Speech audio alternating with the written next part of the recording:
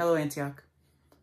Firstly, I want to say thank you for your continued support and for your prayers for my family.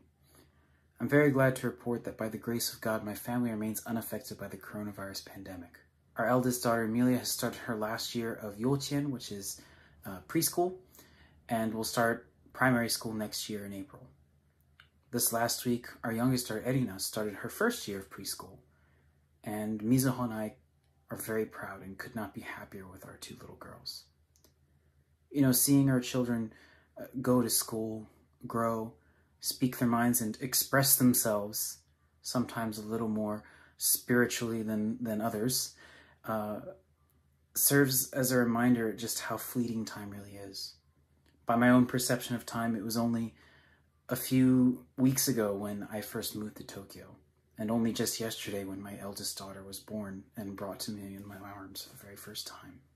Life this year has been quite strange, to say the least. At least the worst of the virus seems to have blown right past us.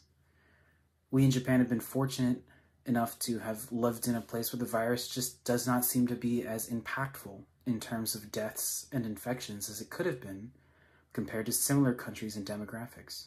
Life itself is just a test for a greater existence that is beyond our understanding. And as followers of Christ, we strive every day, and fall short, of embodying the example of Christ with our own lives. Even the most devout can have their faith tested by the events in their lives this year being a testament to that on a scale many of us have not seen in our lifetimes. Yes, COVID 19 has slowed down the world unlike anything else in recent history. The traffic of the masses, cars, buses, planes, ships, you name it, everything has been so great that the seismographs around the world noticed a measurable drop in the high frequencies produced by humanity on Earth by up to 50%. In that time, we have found ourselves locked in our homes some a little more willingly than others, and cut off from society. We've been directed to refrain from large gatherings of people, to cover our faces with masks. Some embrace these mandates better than others. I've seen many beautiful examples of the kindness that we are capable of put on display. The optimism that we hold in the face of adversity is truly a beautiful sight that we can behold. On the other side of that coin, however, I've also seen pessimism, avarice, and even hatred. In the face of these stay at home orders or mandates, a lot of Christians began to say that if they could not gather in their physical church buildings in mass, that they were somehow being oppressed or somehow done away with by the powers that be or the governments that are in place. Many more still defiantly pushed back against the mandate or even law in order to express their faith as they saw fit. Others would even go as far to say that if you are not an active resistor to the oppression, then you are probably a lesser Christian for it. Now, I'm not going to speak for these people as to whether or not they are Christians or whether they're believers, because I think that your faith is between you and God. However, I saw that a great many of these people were feeling as if their lives without weekly physical migrations to a building had somehow become lacking, and that Christ and the Holy Spirit are somehow only able to visit themselves upon us in sanctioned areas at sanctioned times. There existed this very clear showing that Christianity has depersonalized the person of Christ, made him more into an idea than a person that we can relate to. This same disembodiment of Christ created a religion that thusly disassociated itself with the qualities of love, mercy, justice, and peace that Christ wishes for us to represent and that he frequently displayed with his words and actions during his time here on earth. I want to take my brief time with you today to share what God has shown me over the last year in relation to us as a greater representation of Christ with how we relay the values of Jesus and his teachings to the world in a time when things just don't seem to be going our way.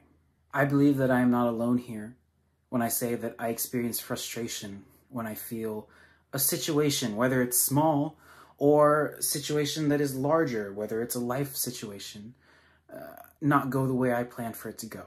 And this frustration often builds out with the more we feel that we have a lack of control over things. And this year has been that on many sides. Whether it's joblessness, infection, being locked down, or losing a loved one, many people did not experience a year that they would consider to be one that had gone according to plan. We can have many plans, aspirations, and hopes for our lives that can give us a sense of optimism. It is always easy to endure the little things in life or difficult things in life when you're looking at your goals and thinking that these are just bumps down the road. However, this last year has proven to be a year that has sadly driven many people to breaking points. Here in Japan, the number of suicides in 2020 outnumbered the deaths to COVID 19. And while I cannot say with scientific accuracy that the COVID 19 pandemic was a part of this, it can be surmised that the travel cutoffs worldwide, the loss of work, and the loss of purpose had created a sense of listlessness in the lives of these people. So it makes us ask, what do we do when life isn't going our way? And today's examples that I'm going to look at are some examples of the negative way we react. The first one is, is that we panic. In Matthew chapter 8, verses 23 to 25, it says, Then he got into the boat, and his disciples followed him. Suddenly, a furious storm came up on the lake, so that the waves swept over the boat. But Jesus was sleeping. The disciples went and woke him, saying, Lord, save us, we're going to drown. An all too common response to a twisted fate is that we panic.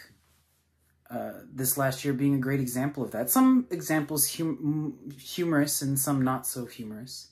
But one of the more lighthearted ones was when COVID-19 started breaking out across the countries around the world that apparently somebody decided they needed to buy all of the toilet paper in a store. And when I read those articles, uh, I think it was coming out of Australia, I thought it was ridiculous. Until one day I went to the grocery store and I noticed, alas, the toilet paper aisle was completely empty. And I've never realized in that moment if there was ever a time when I truly had no toilet paper left in my house. But these panic buying waves, these these uh, these surges to the grocery stores and to the markets only exacerbates a greater problem. Uh, when things run out, stores are unable to meet the demand, and it just creates this sort of feedback loop where things are just being panic bought as soon as they're seen, often making the whole situation worse. And you're going to notice a pattern here that all of these responses that we're going to look at tend to not make the situation better. In other words, the way we react to things is not going to fix the problem rather than what, what comes after that. The second reaction we have is we fight. Uh, and this we can see in Luke chapter 9, verses 51 to 56. It says here, as the time approached for him to be taken up to heaven, Jesus resolutely set out for Jerusalem, and he sent messengers on ahead who went into a Samaritan village to get things ready for him. But the people there did not welcome him because he was heading for Jerusalem. When the disciples James and John saw this, they asked, Lord, do you want us to call down fire from heaven and destroy them? Sometimes, hand in hand with panic, we can respond in anger to things going poorly. Like panic, our anger only serves to make matters worse. Sometime last year, I was riding my bicycle through downtown Tokyo, and over the years of having this bike, it, also it being a used bicycle, the rain had worn down on the lock on the back. And it was this little, it's this little U-shaped lock that goes over the back wheel, and it is part of the frame of the bicycle. And it's pretty typical for Tokyo. Now, they're not exactly high quality locks. So one day as I'm putting the key in, I noticed that it was getting sticky. And I tried turning it, and I knew I had the right key, but it wasn't turning. And in my frustration, I kept jiggling the key back and forth, and eventually I applied some shearing movement to it and broke the key. Yeah. And I realized in that moment, of course, this is my fault. It's not anybody else's fault but my own for being so uh, angry in that moment, like a like a crazed ape just running around a bicycle in downtown Tokyo. And it took me quite a while to hack away at the lock to break it open. And you know, let me tell you this: that when you're hacking at a lock in downtown Tokyo, um, people ask questions and they want to know if that bike is really yours. Now, fortunately, I've since had that fixed, but if I had just stayed calm and not sheared the lock, then I would never have had that problem in the first place. And this brings us to another reaction that we can have, which is despair. And in Daniel chapter 10, verses 1 to 3, you can see here it says, In the third year of Cyrus, king of Persia, a revelation was given to Daniel, who was called Belteshazzar. Its message was true, and it concerned a great war the understanding of this message came to him in a vision. At that time, I, Daniel, mourned for three weeks. I ate no food, no meat or wine touched my lips, and I used no lotions at all until the three weeks were over. Worse yet, I see this happen very much as well. despair. In Japan, I saw a mix of all three responses personally. The most tragic of all, though, has been this. Like I said earlier, in 2020, uh, suicides outnumbered the COVID deaths in Japan. That number was 21,000. 21,000 men, women, and yes, children took their own lives because they felt that they truly had nowhere else to go. Now, each person's individual reason may vary, but these are all people that had deep pits of sadness in their lives. You know, we as a people are capable of doing some very dark things, whether it's taking our own lives or the lives of others. These emotions and reactions, although different, often are hand in hand with each other. We can be driven to do dark and evil things when we feel that there's no way out. However, in all of these examples, God came through with support. It's important to remember that we were never promised a bump free life, and our reactions to these bumps are the crucible in which we are formed in Christ's image. It's important to remember that we have to strive to emulate Christ no matter what's going on. And this year has been definitely a year to test our mettle. So many of us haven't been in a proper church service in quite some time. Many more still have further disassociated themselves from the image of Christ, as their accountability may have been tied more to a community rather than a personal relationship with Christ alone. So, what does God say to these reactions that we have? If we look in Matthew chapter 8, verse 26, he says here, uh, He replied, You have little faith, why are you so afraid? Then he got up and rebuked the winds and the waves, and it was completely calm. Jesus just stood up and, and made the problem go away with his actions. And in uh, Luke chapter 9, 55 and 56, when the disciples were saying, Let's rain fire down on this village, it says here in verse 55, But Jesus turned and rebuked them. Then he and his disciples went to another village. You know, sometimes these problems that come up in our life are problems that we cannot personally solve. Maybe it's a, a relationship with a with a person, or maybe it's a a, a company or a group of people, sometimes moving out of that situation is the best way to deal with it.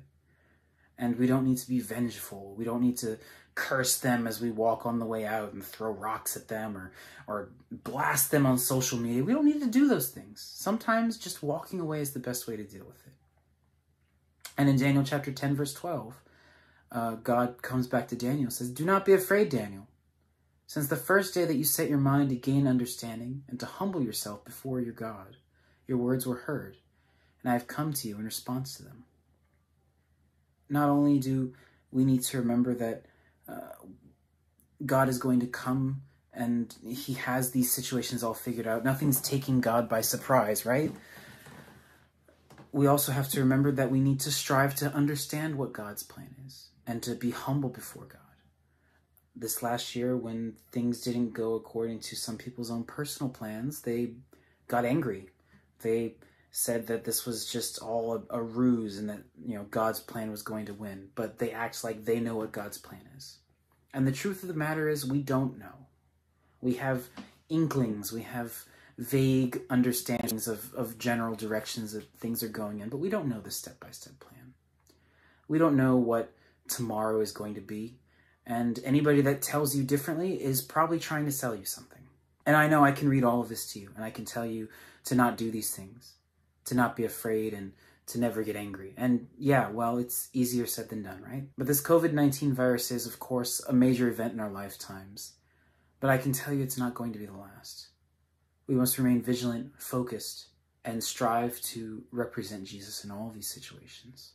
As for myself and for my family, we'll continue to serve God as best we can. I really am looking forward to the end of this, to the virus going away and at least being brought under control, and to being able to travel freely around the world again, and to seeing you people over in Singapore. I, I miss my family. I miss my uh, country that, uh, for lack of a better term, I have called home for a very long time. I miss Singapore. I miss the people there, and I miss my family there. And I look forward to seeing you all again real soon. And I want to thank you again for your prayers and for your love and for your support for us here in Japan. From my own family, from Amelia, from Erina, and from Mizuho, uh, we thank you. I love you all. And I pray for you all, and I thank you for your continued prayers and support.